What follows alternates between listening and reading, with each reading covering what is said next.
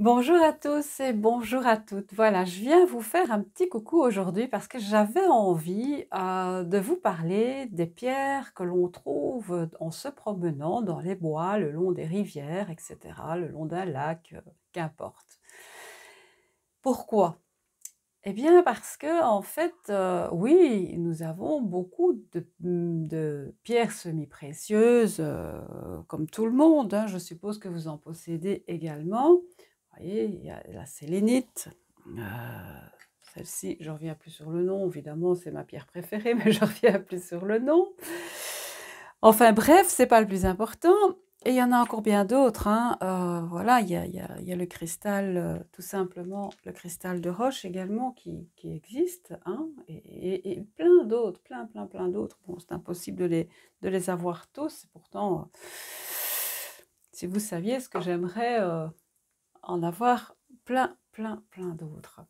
Mais bref, c'est pas le sujet. En fait, le sujet, c'est que je vais vous faire prendre conscience que quand vous trouvez une pierre dans la nature, en vous promenant ou quoi, eh bien, euh, vous, vous- pouvez parfois ressentir une attirance vers une pierre comme ça. euh, tiens, tout à coup, vous avez l'impression que cette pierre vous attire, elle vous plaît, ou euh, il y a quelque chose qui fait. Il y a un déclic qui se fait. Eh bien, c'est pas anodin. Donc, si vous ressentez ces choses-là, moi, je ne peux vous conseiller qu'une chose, prenez-la. D'abord, demandez au lieu, bien entendu, si vous pouvez la prendre et remercier le lieu. Mais en plus de ça, si euh, vous avez été attir- attiré instinctivement, il n'y a pas de raison que le lieu vous refuse de prendre cette pierre. Mais surtout, refuse- re- remerciez bien le lieu où vous prenez cette pierre. Et avec cette pierre, vous pouvez faire notamment en faire une pierre. Par exemple, je prends celle-ci, vous pouvez en faire une pierre de guérison.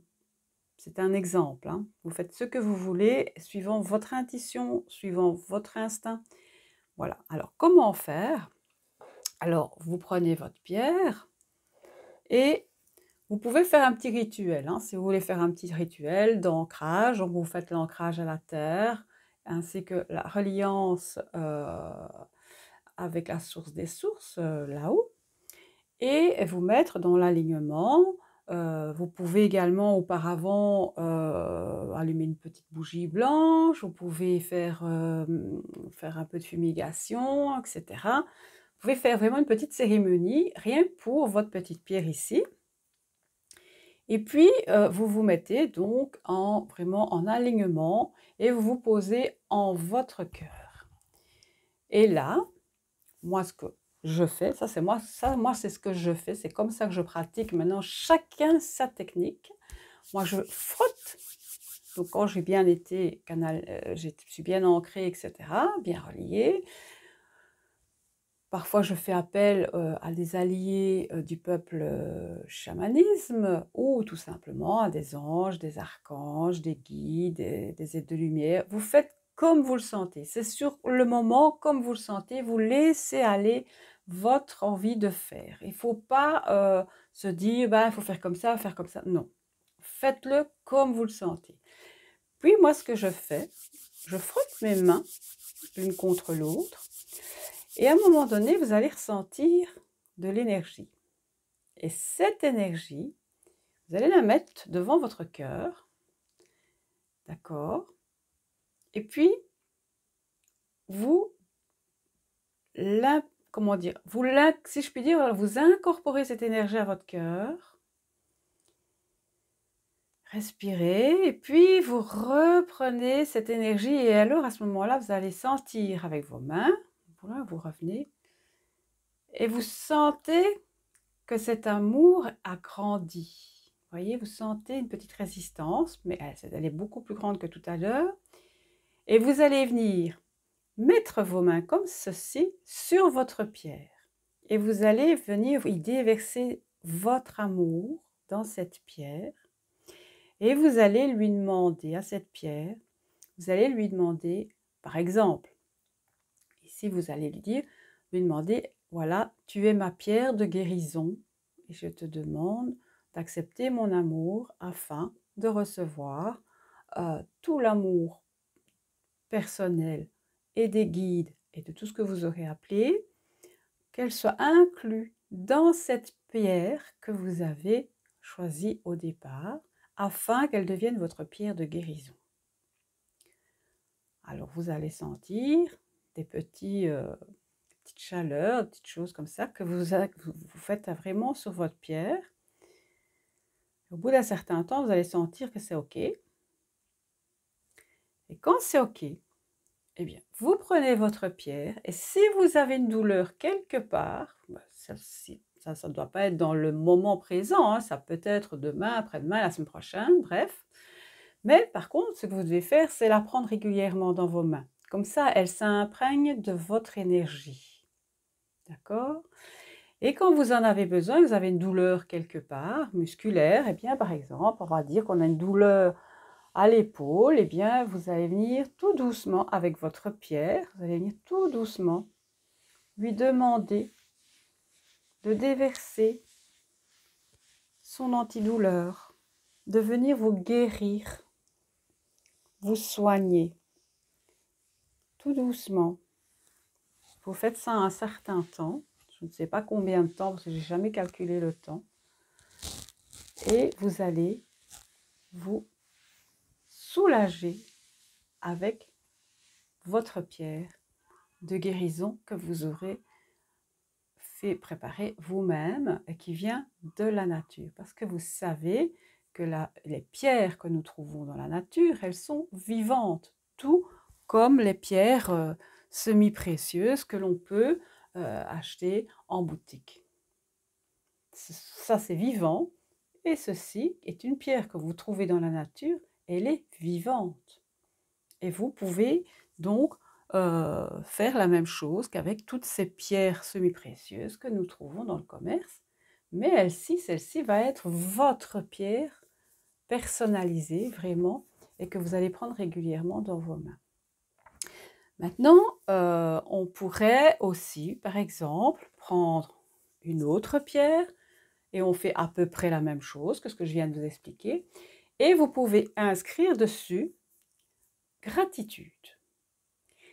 Et du fait que vous aurez écrit gratitude, donc évidemment vous imprégnez votre gratitude dedans, hein, ça va de soi, eh bien vous pouvez la déposer, par exemple, pour y penser, soit sur votre table de nuit, soit euh, sur votre bureau, ou enfin bref, un endroit que vous allez couramment.